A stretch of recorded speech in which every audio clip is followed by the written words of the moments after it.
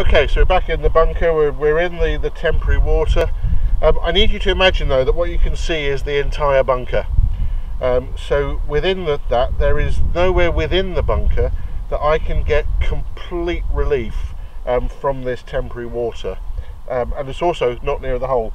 Up there I could get complete relief, but that's nearer the hole, so I can't use it. So here, what you can do then in that situation is find your point of maximum available relief. So quite possibly over where that yellow ball is, um, that I can get relief, I can get the ball out of the water there. Um, my feet though, if I'm playing it, will still be in the water there, but it's the maximum relief I can get. So I can use that then, use that place as my reference point, um, and, and drop within the club length from there. Um, now, you know, you can get some really awkward places that you've got to drop when you're in a bunker. Uh, maybe standing outside the bunker, but with the, um, you know, the ball well below your feet because it's in there. But that's um, just unfortunate.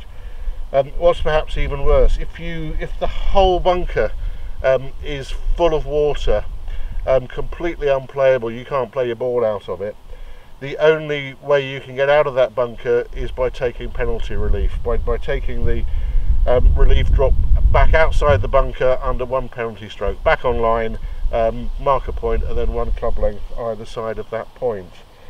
Um, so that's that's unfortunate. Um, unless the greenkeeper's taken the bunker out of play, um, you can't get out without um, actually having that penalty stroke. Of course, that back on line option, if the only place that you are allowed to drop is really awkward, that back on line option perhaps should be considered anyway.